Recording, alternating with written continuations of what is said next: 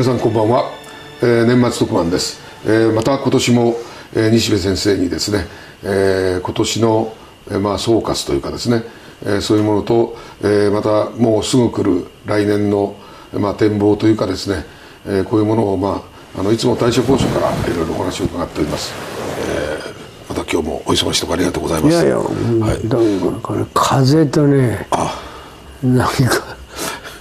神経痛であそうですか。本人が小田仏みたいな。いやいやそんなそんな情けないことを全然まあでもあの表情はお元気そうなんで、はい、まああの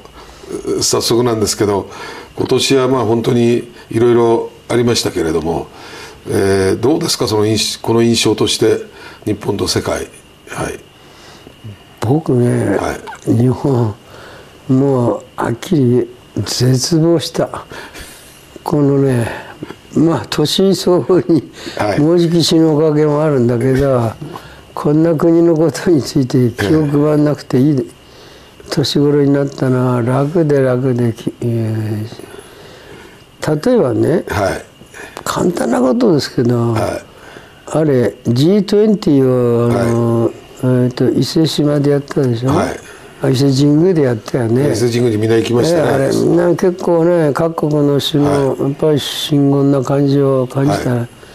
でそれからしばらく経ってリオデジャネイロでね、はい、スーパーマリオでしょ、は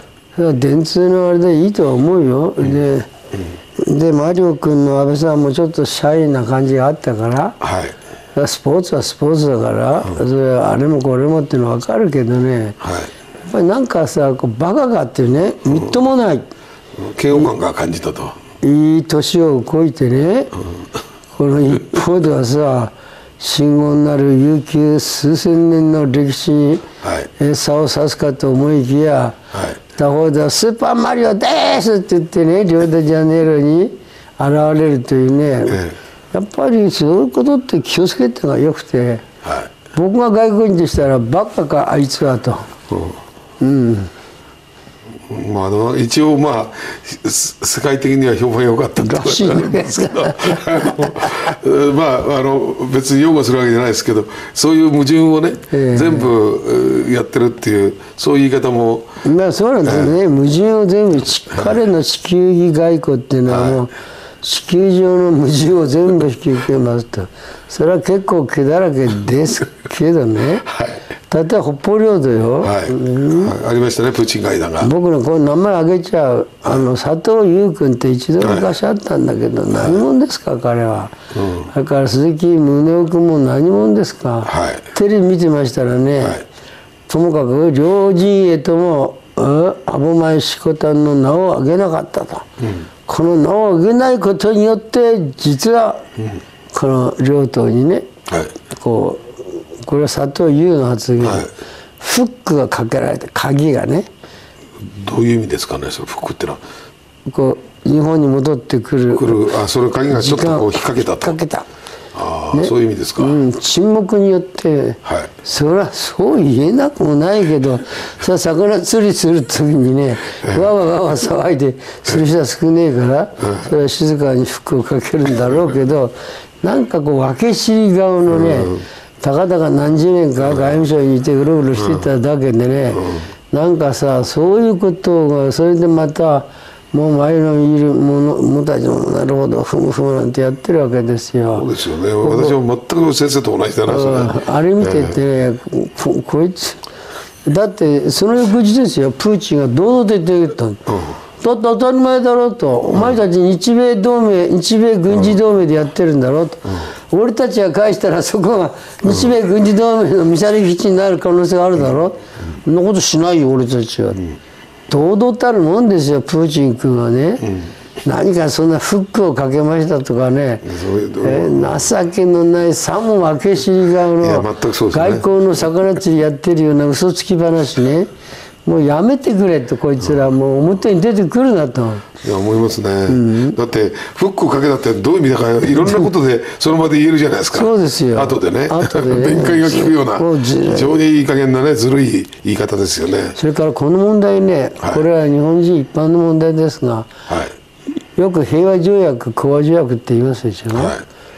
これね平和条約講和条約って日本人があの元に戻ることだと思ってるんですよ私が知る限り元に戻る講和条約はね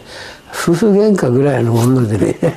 それもなかなか難しいそれもなかなか難しい、はい。あとは大概ねやっぱり講和条約っていうものはもともとあれですもんベルサイユが典型的だけど、第一次世界大戦、ね。俺たちは勝ったぞと。おめえら負けただろうと、賠償金はいくらいくら払えよと、ね、アルザスローレーンの土地はちゃんとよこせよと、そういうことなんですよね、それがね講和条約なんですよ。そうですよね。ものすごい条約でしたよねあれ。ベルサイユは。そう。だってやっぱベルサイユのひどさったら、あなた戦前のドイツのうち 年間の GNP の20倍の賠償請求して、まあドイツ干上がりますよそれは。でナチスが出てきた？当たり前ですよ、まあ、それはいいんですけどね、は日本人もね、なんか北方領土返還なんていう時僕北海道人でよく知ってるんですよ、奴ら嘘ですよ。何にも本気じゃないですよ、北海道道庁に横断幕が一枚貼ってあるだけでね、誰一人酒場で喫茶店で、家庭で北方領土のことなんか喋、ってるの僕聞いたことがない。もうもう遠の昔のはるかはるかのね、もともとあんなところさうんちょっと寒いし魚がちょこっと取れただけで。かなり取れますよね。私結構い あの根室でかかったことあってカニとあのウニとかあの油が乗るんですよ先生それで。あの北方領土は、ええ。あそこのところ、まあ、一応帰ったらの話で漁師さんに聞いたことあるんだけどい岩手とか三陸沖のね、魚が油が落ちてきますから、あのあの辺のところで取れた魚を取れるようになったら自由に。ももうあの本当に岩手の人たちは相当辛くなるだろうと魚の質でね、というぐらいまあ漁漁業資源は結構あるみたいですまけど。ね、あそれはそれは知ってる。よ、はい。でもね僕に言わすとこんだけ食い散らかしてる日本人がさ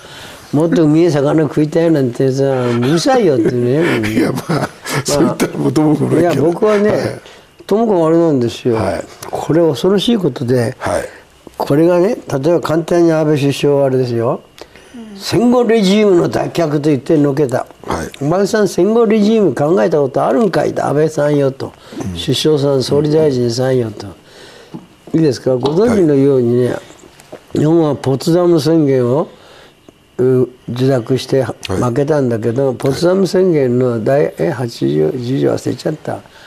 えカイロ宣言が入ってるんですよ。カイロ宣言の内容が入ってますね。カイロ宣言に言うがこと、このカイロ宣言が出たらめでね、はい。これ一体どこのヤクザが書いたんだいっていうねこんな調子ですよ。はい。野蛮なる敵国がスティールテイク盗み取りしたものは全部返せと。それで具体的に書いてあるんだ。朝鮮だ台湾だだーっと書いてるね。それで済まずにねまた別項目で野蛮なる敵国日本が貪欲英語はグリードでしょうね。あ貪欲によって略取した島々は全部返せ、はてさて。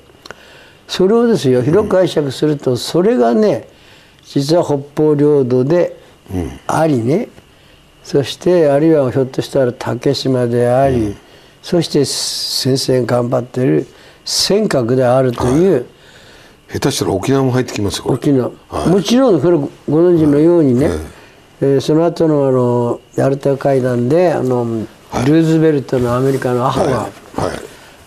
あれ本当お母さんが中国貿易で大成功して中国の大ファンで,、ねなんか。それでそのせいもあるんだけれどもねそれでともかくえー、っとですねうーんと中国人に蒋介石に沖縄取ってもいいんだよと。あそれはルーズベルト進めたんですよねあれ。はいそれからスターリンには北海道取ってもいいんだよ。と。とんでもないやつですけどね。とんでもない、もちろんね彼はね、それはすぐ死ぬしまたそれからあのヨーロッパで冷戦のね、えー社会主義と自由主義の冷戦が熾烈化するんで、ルーズベルトのあれはパーッと消えますけどね、、はい。ずれにしてもあの段階ではその程度だったんですよアメリカはね。なんという情けないさ、僕は僕が言いたいのはともかく元に戻すなんて、例えばアメリカはですよ、ポツダム宣言。だから字面通り見たら、先生、はい。先生も僕も野蛮なる敵国のそうです。ね貪欲なる。貪欲なる人種なんですよ。そうなんですね。あっちを盗みこっちを取り、はい。ね。そいつをそれはうん。そうでしょ、はい。そういう国際法僕は何も国際法なんてそんな絶対なんていうかあのもんね、ま、真面目に受け取る方がどうかしてるんですけど、どっかでですよ、それをねこんなの時のさ、赴くままに、えーどさくさの中で、まあもうしゃあねえからねとりあえず受け入れただけでこんなもんな。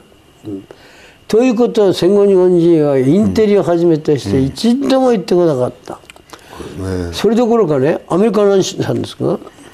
実はあのサンフランシスコこけ1951年。に、はい。サンフランシスコサンフランシスコ講でね、抱き合わせで日米安保と一緒にしましたでしょ、ということはあれですよ。要するにまあ違い方権、簡単に言うとあそこと沖縄のあそことえ横、えー、と東京のそばのよ横田基地ですか？よ横田とあそことここは俺のもんだぞと、え？これは分かったか、取られてるんですよね。そうですね。そそれはもう自由になって。いや日本全体もそうですけど特にそういうとこはね、あの直接統治というか本当に。はい。えだからね何アメリカにそれややみんな知ってますから外国は、俺たちもやるよと、とプーチン君は思ったわけですよ、俺たちもやるよと、え連合国としてですね。あでも、まあ、それともう一つ先生これはどうですか？あの、まあ、もちろんルーズベルトの勧め通りあったんですけど、まあ、いわゆる終戦の象徴が出た後ね侵攻して、まあ満州とはえーあそこじゃないですか千島シムシ島からだんだんこう降りてきてもう完全に終わってるのにそうそうあのしああのクラチリエトロフ羽生石コタンまで来てしまったっていう、これはやっぱり日本人としては理不尽にねまあそれに対する反則感情っていうのはそこからあったような気するんですけど。いやもちろんそれはもうひどい、もうそれはひどいことやったんですよね、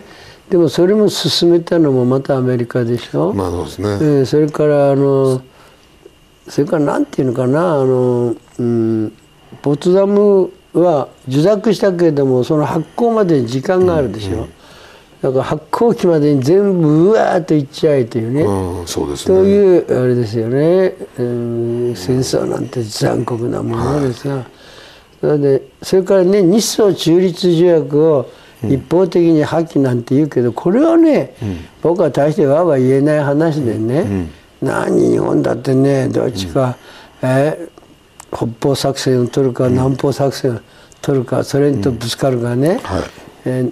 要するに英米とぶつかるかっていうのをやってたわけですからそんなことはねもうそれこそ戦略戦術で、えーのの問題であってね、うん、日本はあーともかくギリでだ全体として数字国 VS、えー連合国でね、うん、ロシア連合国で、日本は数十国でその戦いで、ですからね。で僕それに負けたわけですよ僕ならば負けたと、うるしいやってね。だから適当に負けた以上知らないから、適当なデタラメな回路宣言みたいな、どこのヤクザが書いたか分かんないような、デタラメな文章も取り前で OK ってしとくけども、我々はバカじゃないんですよと、ね。どっかでこれはだって署名者がいないんですから回路宣言。そうですよね。あれね正式の外交文書かどうかそれは怪しいんですよねですよそんはい。こんなものをね。我々はいつかこの間のあの、整理はさせてもらいますよってことをこれまで言ってればね。でも安倍さんにそれを期待したって安倍さんだけで、これまでの前総理が一番も言わないからそうですよ戦後の自民党政権は全部そうですからねこれ。はい。いやそれとやっぱりまあこれその前の年まあ、昨年ですけど70年談話で少なくとも西日露は正しかったって言ってますけど安倍さんは。あの大東亜戦争については、えー私たちは間違った道を歩んでしまったと。はっきり、まあ、あの言ってね。私はその時、まあ、今の従属国としてのあの日本日本の立場考えれば、まああの無理無理もないとこれは全力でやってもそこだろうと。ただ我々は胸の悲しみをふ踏まえてねあの安倍安倍でさえここまでしかできなかったという、この事実はちゃんと踏まえて次にねやらなきゃいけないだろうと思ってるのはちょっと正論に書いたことあったんですけどね。あのそこの感覚が胸の痛みがねないというねまあ従属国ですから言うこと聞かなきゃいけない時もあるけどもそれを単単にススーッと受け入れてね、何のあれも悲しみもく悔しさもないままねあの受け入れてるんじゃそれで71年ずるずる来たんじゃないかって気するんですけどね。でももっと71年どころか根っこは深いでしょうねやっぱり。明治維新この方ね。はい日本がいわゆる西洋近代というものに対してものすごい警戒心をねはい。やっぱ強い時もあったけども、やっぱり強い警戒心を抱き続けなかった。そうですね。僕ねその点でもう非常にこう皮肉なのはね、軍隊なんですよ。あ軍隊っていうのはねこれまさしく近代主義の権限なんですあまあそれは近代合理主義のね。そうでしょ。はですからねこの近代主義を疑うということは、まずはどっかで軍隊的なるものを疑う、それは否定することじゃないんですよね、近代に勝ち抜くためには軍隊も強くしなきゃいけない、でも軍隊こそね、近代主義の権限として、だから近代をあ軍隊を操る、そういう指導層はそれなりのね、広い哲学あるいは歴史観、人生経験その他を持っていないといけないという、そういうふうに僕はずっと思いついてきた。それで実はね、ちょっと話ずらすようですけど一度僕はあの広島の呉の軍港のね、はい。あそこのなんていうんですか博物館見たことあるんですよ。えー、あのえーあのい大和とかなんかの模型があったりする。はいはいはい。そこでねあの歴代の海軍大将の写真がずっと並んでるんだ。はい。これ差し障りあるからぼかしていますよ、僕ね案内してくれたね館長に聞いたんですよ、あのて館長さん言いにくいことですがずっと顔を見てきますと時代が新しくなるにつれ海軍大将の顔がいささか下品になりますなとこう言って抜けたんだ。あそうか。だんだん明治からずっと昭和まで行く顔がだんだんとこう、だからちょっと品格が落ちていくわけですね。じゃあ僕その名前は言いませんけどね、館長さんが「先生もそう思われますか?」と。あ「実は私もそう思うなるほど。です」と。これね、まあ、ほんのちょっとしたエピソードですよ、でもねやっぱよっぽど気をつけないとね、で僕が言いたいのは何をね。僕は水島さんから「お前は自虐しかんか?」ってこの前殴られそうになってまた慌そんなてた。電話も飛ばさないじゃないよ先生殴られたら慌てた。100%ないですからそんなことは。僕が言いたいのは。まあでもあの、うん、そうじゃなくてね、はい。確かにね調子こいたことだんだんね、だんだんだんだん調子こいた軍隊がね、はいそれはね言えるんですよね。そそうなんですよ。先生ねそれをいやそれ聞いてちょっと思い出した。のもこれ何度も私言ってるんだけどもあのここ奥にの何百里ってのあるじゃないですか、声優の歌をね村上一郎があのうつまり東条英機が禁止したんですよ「めめしい」っつって。あのでも、まあ、村上一郎さんはこの勝って泣き負けて泣き、とも声優が亡くなって泣く、この涙こそ日本兵が一番強い世界一強い盛況さを保障したこのそのも心なんだと。で東条は全然わからないと。陸軍のね軍官僚としてね優秀だったかわからないけどもっていうのはだから先生がさっき言ったその近代化の、ご近代合理主義っていうか、まあ、ドイツを彼はすごく理想としたみたいですけど、そのことを考えると今おっしゃったね、そのえあの頭はだから西洋近代化して、合理化した形でやれば当然アメリカみたいなその物量とかのにのに負けていくというね、そういうものなんか今ねあそうかその顔のまあ下美だっちゃ失礼だけど だんだんね、ちょっと品格を失っていく。提督たちの姿っていうのは日本の近代にこう屈していく姿が分かんないなみたいなね。そうなんですよね。そこのところの問題が残るんでね、僕はあんまりね安直なものの言い方はしないんだ、はけどしかしまあそういうことはさておいて言えば、はい。この前ねあのペリリューっていう映画ござご覧になりました？いや。小栗何がしというでああ。若い監督の短いセミドキュメンタリーベルリはいろいろね我々も取材に行ったり、えあのチャンネル坂でも行ってるんで非常に関心深いところで。僕もがっかりしたのはね、はい。肝心要のね、はい。あの例のニミッツ提督のはい。日本軍に対する検証費ね、そうですねあれ。もちろんスパルスあのペルシャのスパルタ軍への検証費の猿真似であることは僕も知ってるんだけど、そんなことはともかく日本軍はすごかったと、えもう本当に英雄的に戦い抜いたっていうね、はい。そのことをみんな国に帰って人々に知らせよってさ、なぜそれを映さないのかねこのえですよね。あれは本当に、あまああのまあ敗れたとはいえまあ、ええ。玉砕したとはいえ、ええ。本当に見事な戦いでしたよね。しかも玉砕ったって自分の万歳突撃じゃなくて、はい。生きてる限り戦いというねそうなんですよね。本当のすごい玉砕ですからね、はい洋島のねあの栗林中将も10人以上殺してからでないと死んじゃいけないと はいずってもとにかく生き抜いてそ10人殺してからだったらまあいいっていうねなんかそんな命令なさったっていう聞いてますけど。いや本当僕はそう思う、やはりねあの、えーペリリューはい。まあ裁判のことは詳しくないんですけど、はい。それから硫黄島そして沖縄か。はいそれ考えた時にね、僕なんか日本人の沖縄のことも含めて、はい。もう日本人の魂の運動はもう終わってるんじゃないかなってね。そそのその終わってるというのはちょっと私ねどんいやだからまあ先生の分析っていうか絶望的な状況認識っていうのは私は全く本当100%っていうぐらいあの私もその通りだと思うけどただでも西部進がいるじゃないかとここに水島もいるじゃないかと思いたいですよこれ。こう思いたい。希望として。はい。僕と似たようなことを言い始めてるね、青年が若干目あちゃこちゃ揺れやこる、でも僕に言わせればそんなもの僕がいなくたってね、世の中こんなひどくなれば必ず出てくるわけであってそこに僕の貢献なんか1ミリもありゃしないと、はっきり水島さんに僕は告白する、俺が生きたのは全く無駄であったと。それは全く違いますね。あのそれはもう今そういうことをおっしゃってるかわからないけどこれみんな実はですね西部ファンはねあれですよ先生あの倒壊した言い方を習ってると。実際そうですから。あのだからやっぱりあの今言ったようにこの日本をね、そんな素直に単純にね、これでいいじゃないかとかね、ここもいいじゃないかとかあそこここもいいからあっちもいいじゃないって言って中途半端なことよりは耳っちいこう救済とかね、救いみたいなことを言うよりはね全部ダメだっていうね、いう人が本当に必要なんですよ世の中は。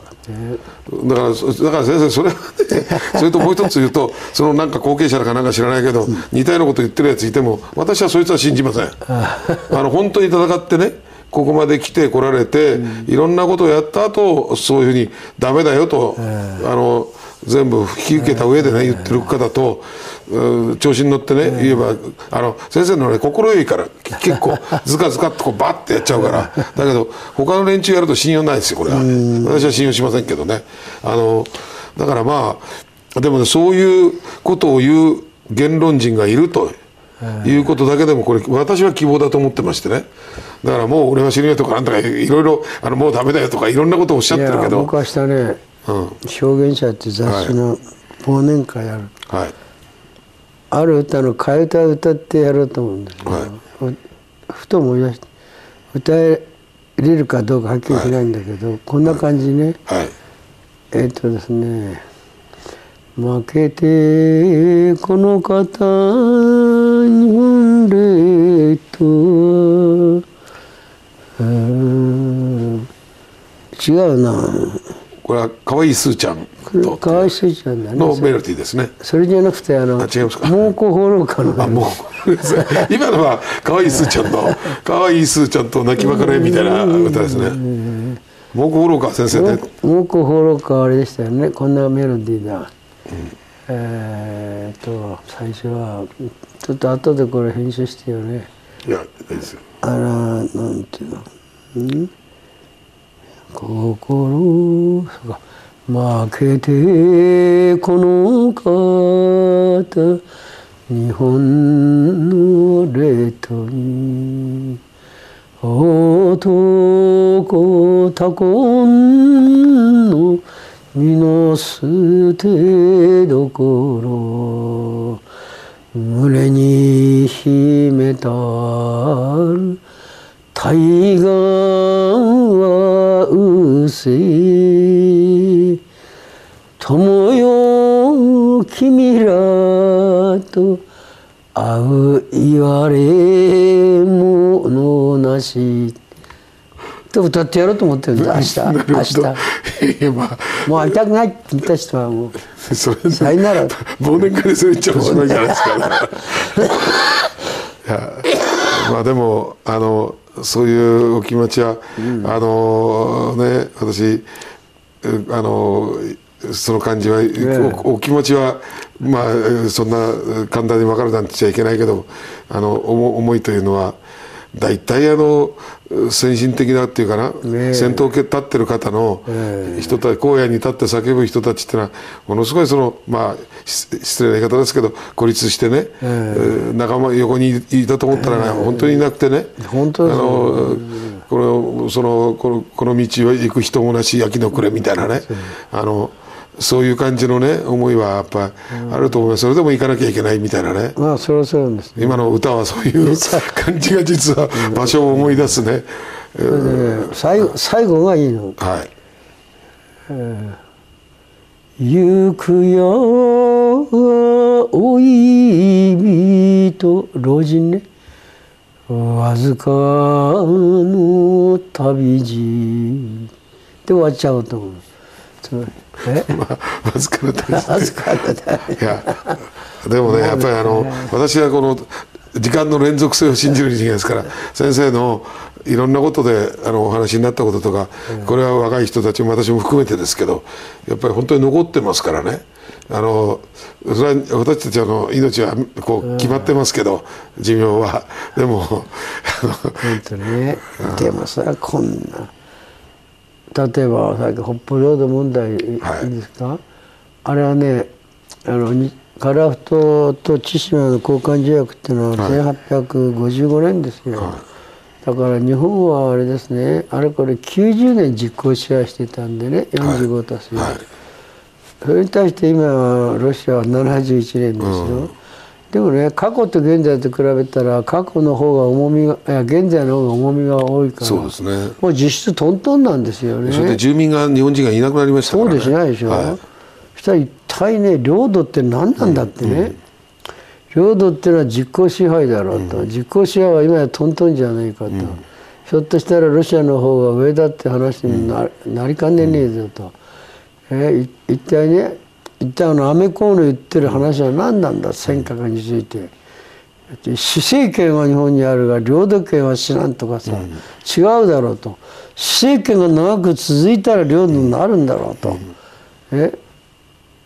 というふうなことね、そんな素朴なところで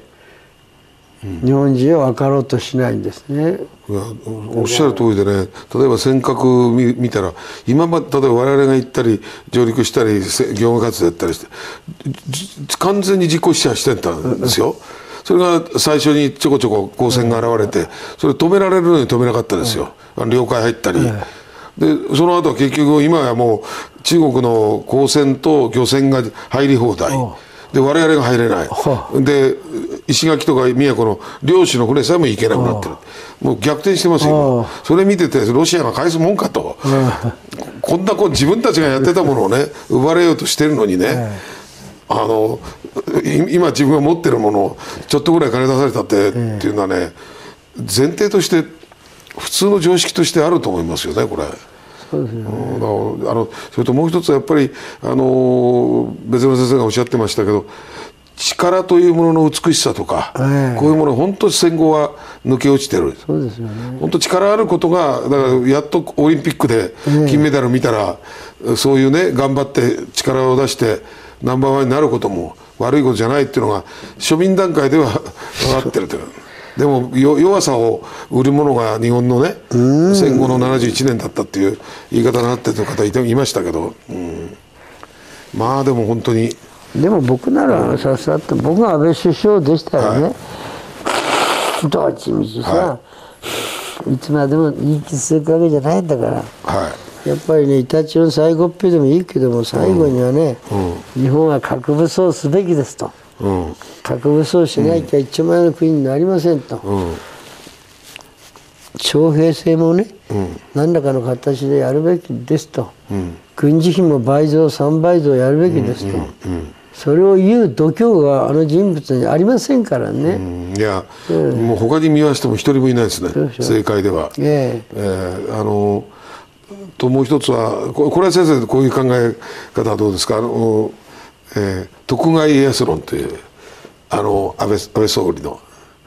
つまり今川義元に人質で言うこと聞かされ、えー次は織田信長の部下として、あれそれから秀吉にもペコペコして最後はやっぱり権力取ったと実現したと、あれは安倍安倍、えー、なんですか徳川家康論っていうのもあるんですけどそれはどうですか？嫌だな俺そういう人間と会いたくない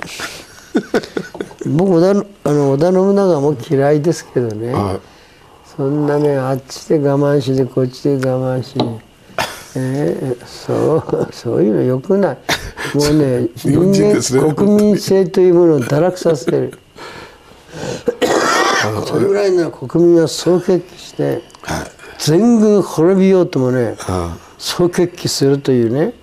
そういう指揮者がでなければね、そんな生きのび生き延びればいいんだってとんびゃく症根性をお教えつけてですよ、はい。それはあの土壌だってそれは生き延びればいいって言われればさ土壌人間人間は土壌になりますよ、おやめなさいとそんな土壌みたいな日本国民作ってどうするんだってね、あのまあそそれをまあ一種の戦略というね言い方をするのもあるしただ私先生おっしゃるようにねあの来来年ですけどもうすぐですけどあの尖閣とかいろんな台湾の問題であの東アジアもヨーロッパも実際に戦火がね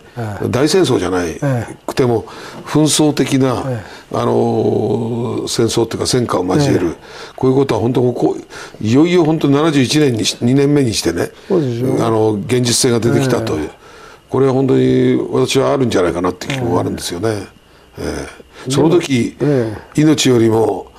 国領土を守るとか国を守るのかっていうのがね、まともにあの先生の言う、まあ、いわゆるあ今日はあんまり使いたくないけどジャップというねこの人たちががん頑張れるかどうか少年が試されるっていうね、私気ま気がしますねこれ。本当にそうですよね、だから来来年はまあ変な言い方だけどまああの危機もあるけどもチャンスでもあるという、そのきっかけを生かせなければ本当に日本はダメになるっていうか、もうもうダメだっていうのがまああもうダメ。れですけど。はっきり言ってもうダメですよ。ここんな国。はと言いながらでもそういうことを言うっていうのはあのまだ期待してどっかでね、まあ。ええということだと思いますけどね先生。あのまあ、そういう意味で言うともう一つあの世界的に見るとですねあのまああのこれは竹本先生との話もあったあったんだけど世界的にそのまああの露呈してきたって形ですけども、例えば民主主義、まあ、あの民主主義とね、あの例えば共産主義とか、こういったものが実は裏表みたいな感じのね、えそのいわゆるヨーロッパが作り出した民主主義とか共産主義とかそういうもの自体も今これがみんな同じようなもんであるというようなことがあの EU とかいろんなところの中で移民を入れたりなんかしてる中で、これがずっと露呈してきて。そういう道、まあ、先生から言うとああのあ没落ですね、あの西欧の没落みたいなものがね明らかになってきてんじゃないかと。あの、まあ、そういうことをねあのちょっとヨーロッパ論でちょっとお話になってるのを聞いたんですけどね。あのヨーロッパの現状っていうのはあるいはそれからもう一つはイスラムの侵入っていうのは昔のサラセンみたいな形でヨーロッパを席巻するんじゃないかと。世界史的にちょっとこう大変動が起きてるような気もするんですけども。それは先生どうですかね？これがねはい。僕が言うと角が立つか。らは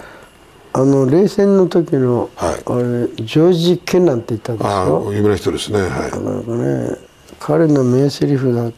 実は伊藤寛から聞いたんですよ、はい。今度は中国論からジョージ・ケナンの回想録も出てますけどね、ケナン曰くこの地球上に純不動よ。はい。えーっと11種とアラビックとはい。チャイニーズが、はい。地球の表面上に出てくる時に地球が崩壊すると。もろに出てるじゃないですか今。今ですよ、ね、ケナンの言葉だことれはねさすがケナン別にこれは大して僕ね、あのー価値観ないと思う。つまりおそらくねはい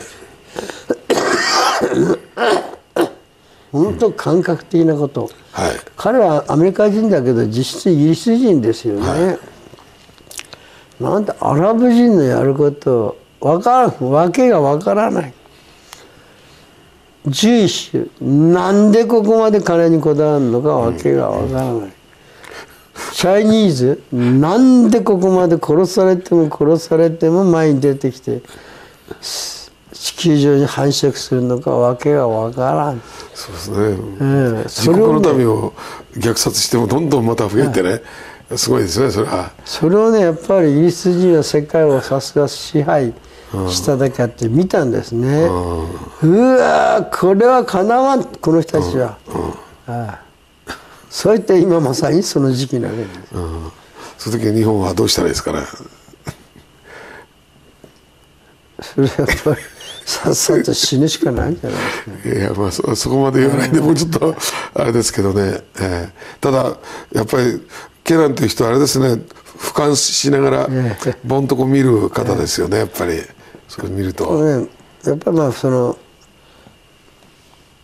最低限僕はあれだと思うのは死のこと言わずにね、はい。ちゃんと核武装をしますと。はい。俺に手を出したらお前らお前ら大やけどするぞと、うんうん。いうことねそれからもう核武装だけじゃありませんけどね。はい。もちろん先ほど言ったように軍隊って危ないですよ、はい。厳重な注意事項をつけるけれども、うん。俺たちはねやっぱり俺たちは戦い抜く民族なんだと、そう簡単にお前たちには蹴散らかされないんだと、絶対に頑張る民族なんだってことをね、どっかで表明しないとね、そんなそんなそれをスーパーマリオなの何なのバカやってる場合じゃないですよそれ。それあれやったからダメだってことじゃないと思うけどでもおっしゃるようにあの一番アメリカがやっぱり壊したかったっていうか、まあ、私紛争のことをあの、ね、あのやってるんですけど一番壊したかったのはその勝負の心というか、はい。あの日本人の持ってるあの、まあ、先生はいつも特攻隊のお話もねなさいますけどあのあの気持ちが実はとてもあの白人種にはないそうですね。あの、い。うこの生じというか、え。あの死生観ですよね、こういうものを復活させたくないっていうかですねあのあれだけあの農民や一般の庶民がイギリスでいうところのノーブレス・オブリージョンみたいなね、そう。あの公のためにあの大々しくね、出撃できる国は日本だけだったっていうかですね、だからそれは潰したいでしょうね。確かつで潰してきましたよね。今まで。そうですよ、僕あの沖縄のねあれで、NHK がやってたんだな深夜放送で、はい一人の若い奥さんが、はい。背中に小さい赤ん坊を背負って、はい。右手に短刀を持って、はい。左手に手榴弾を持って、ええいわゆるねガマから突撃してい。きましたと。はい。さぞかし悲しかったでしょうねってバカアナウンサーが聞くんだけど、そうじゃなくていいいえ明るい顔をして「あの世で会おうね」と言って行きました全くそうですね。と言ってのけるんですね、はい、素晴らしいですね。同じことをねやっぱりこの女子挺身隊のね、はい。1 5 6の仲間たちもね「あの世で会おうね」っつってさ、そういう人たちのことをちょっとでもこう思い返したらね、はいこんなふやけたさ、はい。もう嫌なんだ僕はこんな国に70年生きてしまった我がいやいやそれは人生それは気持ちはよくわかりますけど救いの始まりああの、ただね、やっぱり先生おっしゃったように、私も沖縄っていうのは、チャンネルサークルのスタートからの一番こだわったところで、あの、おっしゃるように、面白いのは、平和行進とか、えー、平和なんとかピースウォークとかねやってたおばあさんいるんですよ90ぐらいの。でもえー、いくつだったかちょっと90ぐらいだと思いますがすごい元気なおばさんが「あのその時どうでした?」と「いやもう竹槍持ってさあのみんなでアメリカ軍突き殺してで死ぬなんか何とも怖くなかったと、あの明るく言うんですよ、だからいやこれだろうなと、先生おっしゃった通りでねあの暗くて悩みに悩んであのっていうんじゃないんですよね。あの本当にあっちの世界とか、みんなでまた会おうねと。あの死生観がそういう一種のねあの、まあ、有機体みたいなねあの先祖とまた一緒になって子孫と一緒になるみたいなあの感じがあってでそのおばあさんがなぜかそれと危機として平和行進歩いてるんですよ。であの当時はどうだったっつったらその当時は気持ちどうだったら全然怖くなかった、うん、死ぬなんか何にも怖くなかったって、えー、だから非常にリアリティのある話なんですよねそれ。うん、はいね僕のそこまでいかなくてももうダメだと思うのはあれ僕はもう70もうじき8か、はい、ねそれからだから、ね、70代60代50代40代の人たちがね、はい、要するに何一つさ本当にこうこの世の中で生き死にをかけて戦ってないんですよね、うん、戦うというか生きて生きるというかね、はい、えー、こんなねこんな間の抜けた民族は、うん、僕にはすれば失せやがれってお前ら人類と、うん、人類に入れてやらない、うん、あのあえてちょっと言わせていただくと、先生がご覧になってるのは先生と同じようにものを書いたりね、あの発言したりする人たちはそういう人はっきりと私は多いと思います、だけど私が信じてるのはいざとなったら、えー、家族を守ろうとかね、そういう一般の庶民がね背広着たり普通の服をやってる姿勢の人たちは、えー、私は日本人はまあ、私が言う総合ですけど、うん、そういう人たちはやるときはやると思います、えー、それはあの私が希望を持ってるのは先生がおっしゃるその文化人とかねこういう政治家じゃなくて実はそういう腐れの人たちは、うん、あの本当に自分の子供やあれのためだったらやると思いますけどね。うん、本当にね、えーっていうかさたった一回の人生その気持ちを忘れたらもう何の意味もないんですよね。はい、そうですねえー、ぐったらぐったら本当にうんこして死ぬだけのね死ぬだけの単なるもうつまらんもんですよ先生。先生はそういうあのあれが器がそういう大きいからねあれですけどあのまあこぼしゃくれたこと言えば禅のあの人間は何だっつったらクソ袋って言った老子がいましてね。あのだからそういうクソ袋で生きる人もなんとなく愛しいというのが日本的な感覚じゃないですか。そのだからまあその私あのいわゆる反左翼文化人に対する謹慎謹慎とは言わないけど 謹慎憎悪というか憎悪に関しては私かなり私もあのあなんていうの？共感しますけどやっぱまだね日本の一般のその姿勢で真面目に汗かいてあの少し貧乏しながらでもね生きてる人たちはちょっと信じたいような気がね,、ね。私の仲間結構いるんですよ実は。あの若いも老いもね。本当に何か自分ができることあるかなと考えてる人が。だまあ先生のだからあのダメだよっていうのは彼らにとっては励ましになってるんです。でも僕はあれだな、えー、正直言うけど女房に3年前に死なれて以来、もう完全なインポテンツだな。インポテンツって意味はそれ性的な意味じゃなくて、はい、精神的にね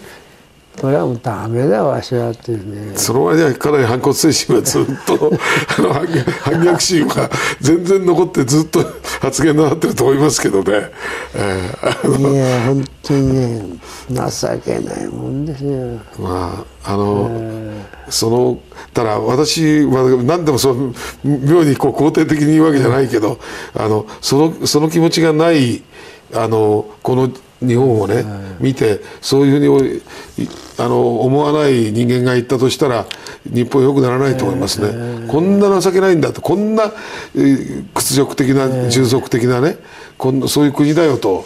これダメだよというのはそういう思いがないなくて日本はこうした方がいいああした方がいいっていうね。絶望のないまま言う人たちはまあこれね、そうだと思うけど11月になるとあの例のペリリューからね、はい、まあ風か波の音でしょうけど、はい、うおうおってね傭兵のとか声が聞こえてくると現地人は言うわけですよ。それを聞いたうちのかみさんが、まあ、がんが発症して病院で倒れてたんだけどそれはともかく病室でね、それはともかくねやっぱりねこう一言言ったんですが日本の男たちを軽んじてはいけないとつくづくつくづく分かった。その意味はねやっぱりあれ1万2,000名ですかね、うん、やはりねもう本当あれは何ですか？中川国夫、はい、熊本熊本人ですけどね、うん、あとは水戸連隊かな、はい、ともかくやっぱりねいざとなったらもうともかく、米軍はたった3日間で殲滅するつもりが3か月にわたってね、徹底徹底的に戦い抜くというね、それを見てさそれでスピルバーグがテレビであれ3回分にしちゃったんですからね。あのペリジューの分だけね、それぐらい凄まじい戦いをやっぱりやってやっぱりやったんですよね。そうですね。だから、えー、そのもう特にペリリューもそう一番ね有名なところですけど、各島とかそういうところで本当にあの日本兵はよく戦ったと思いますよね。そうですよ。僕のああいうのとね、えー、もう調べたり聞いたりすればするほど今この日本列島にうろうろうろうろ生きてるやつら。全部 IS を招待して IS 君たちにやらもうやってもらいたい始末してもらいたい。いやでもあのやられる可能性本当に来年はありますからね。あのいやただそのね、ね。私から言えば愛するあまりそういう形を 日本を愛するあまりそういうふうにおっしゃってるっていうのはよく分かってるんですけどあの他の人は誤解しますからね。いやあのただ本当にあのそういう過去の日本人の在り方とか、生き様死に様っていうかこういうものをやっぱりもっと我々は見直さなきゃいけないし、ただこれ伝えてこなかったなといういや本当ですよね。思いますね、えー、こんな俺たちのじいさんばあさんやあのあれは祖先はこうある種のねそういう立派な戦いとか立派な生き方したというねあれはやっぱりちょっと教えたいですね。えー先生もだからそれは あのぜひそういう話をしていただいてもうもうダメというのをあの言ってからそういう話をしていただくとあの非常に、えー、えー、まあでもで僕ねこれ話したかな、はい、何度も話してんだけど、か、み、さん死んじゃけどかみ、はい、さんと一緒になった時に呆然としたことがあるのね、はい、つまりかみさんのおふくろと僕のおふおふくろが、はい一言一句疑わないことを言ってた戦後すぐそれはね日本の男と来た日には、うん、たった一回戦争に負けただけで、はい、腰を抜かして全くもう、なるほど、ね、一語一句知らないの？ということはねみんなそう言ってたってことでしょ？当時の女たちは。そうでしょう、ね、子供4人も5人も産んでね、はい、それで戦争負けた男たちはね、はい、まあ死んだ人は死んだ人で、はいあとはひな職になってさ俺は女たちにすればああんた方がやるというから私たち頑張って子供を産み餌を運びねがんやったでしょうと、うん、何ですかと。時の時に運あらずシュンとしてるの分かるけど、うん、どっか心の中でね今に見てろって気概があんた方にはないのか、うん、この日本のバカジャップのバカオスどもはっていうのが、おそらくあの時代のね僕のおふくろなり、僕僕の、うん、なんだ女房のおふくろの気持ちなんでしょうね、うん、だからそれはねおそらく日本国中にあったんじゃないかな、うん、それがね世間に出てくるのは平和が大事とかさ、そんなの男が言ってたらそう思うでしょうね、何が今頃になって平和とかね、民主主義だとか言ってんだっていうねうん奥様の本当言葉は本当そう私もちょっと痛く聞こえるんですけど、腰抜かしたくないですね本当にね、本当ですよ、もうだからもう日本人の腰抜けぶりはね、ものすごい早い。70年前負けた翌日からもう立ちどころにガタガタガタと始まってますから、それは水島さんがそんな大きな体でいくら頑張ったってね どうにもこんなやこんなやつね。俺知ってますもん。山ほどどれほど日本人が臆病者卑怯者でさ、うん僕そのためのそれなりの被害にも遭ってますしね。ですよね、まあ、先生は本当に勇気あるね、あの活活動目いっぱいややってこられた方だから余計よくわかります、はい。あのそれとやっぱりささっきおっしゃった腰抜けの話ですけど、あのえー、とあれ「ゲゲゲゲの鬼太郎」とかねあれやったあのニューギニア行った、あの漫画家の方があの「私は戦後どんなことにも同情しなくなった」と、どんなこと人にもどんなことにも同情しない。戦争で死んだやつ以上にかわいそうなやつはいないってって。断言したのはすごくショックだったんですね。でもそのああの彼は片腕なくしてあ水木しげるさんね。水木しげるが戻ってきて、あの他のことでいろんな、まあ、あの人は最後だとかなんとかいろんな言う人いるけど、その経験ね、ええ。地獄の中で生き抜いた戦って生きて死んでった人を見た時、う戦後のなんかあの何平和だ民主主義だって言ってるのを見たらうそれでかわいそうだとかね戦後は言ってる不幸だとか言ってるのは同情しないっていうのはよく分かる気しますねこれ。いや本当ですよ、しかもあの水木しげるさんこう言ってるんでも後書きでね、ええ。ーあれはあのええあそこですよね。ララバウルのあたりなんだけど、あの辺りは10万人ぐらいの兵がいてね、戦闘の500人突撃隊で死んでこいって言われると、い、いですか、はいどうぞ。でも向かいのペリリュー島はねはい、はい1万2000名で全員突撃だと。あれなら自分も死ねたって言うんですよね、うん。まあ。でもね戦闘の500人死んどいでと言われたらねよよう死ねんかったってね、後書きはそれだけですよ。それ日本のバカ左翼軍がねそういう突撃しようで、あたかも悲惨な突撃物語として嘘を作ってるけどそうじゃないんですね、なるほどね。やっぱり僕水木しげるさんあ亡くなられたのか、はい亡くなりましたけど、ねやっぱり貴重な、あのリアルな、あのことを見てたと思いますね生で。はい。まあ今日は、えーそういう意味で、えー年末、えー西部先生に、えーまあ総括という今年のでも全般にこう今ある日本の姿がイメージできるお話を本当に伺ったと思います。あの来年もすみません。あの、えーもうダメだという言葉を含めて結構ですのでぜひまたいろいろ我々に教えてください、こちらこそ。ありがとうございました。どうも